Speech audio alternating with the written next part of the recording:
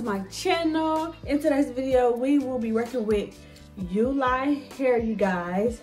So, of course, in this bag, they gifted me a comb, an edge brush, or comb, whichever you may, and a wig cap, of course, you guys.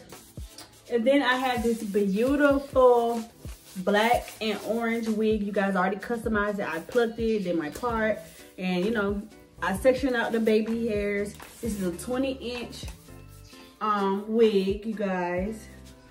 20 inch wig. I am gonna curl it and style it once it's on my head. This hair feels really, really good, really, really soft. Minimum shedding. Haven't experienced shedding except for when I was plucking, of course. But yeah, you guys, I'm so excited for this look and I'm scared at the same time.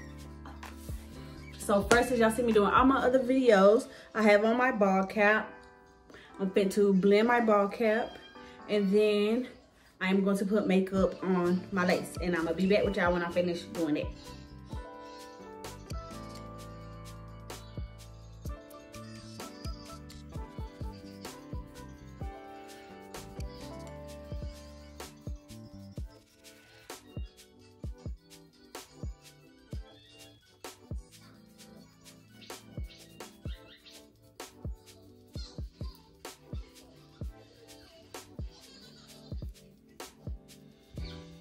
Okay, y'all, so now that that's all said and done, I put it on my lace and I put the makeup on my wig cap on my head.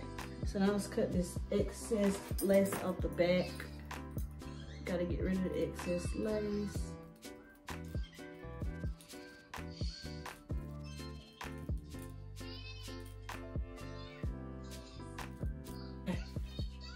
So now we're gonna just put her on, see how she fits.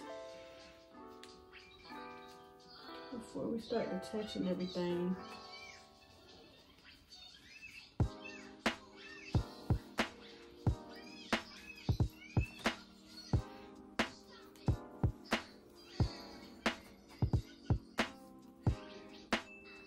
So this is my band that I'm gonna need. Then I got my glue, Ghost Bond glue. And then a hair wrap, because I'm gonna tie this part up so it'll be easier for me to do what I have to do. Okay, so now we're just gonna we're just gonna put the glue on the perimeter. Guys, so now I got the glue. I'm about to wait for it. I'm about to wait for the glue to get clear, then we're gonna attach him down.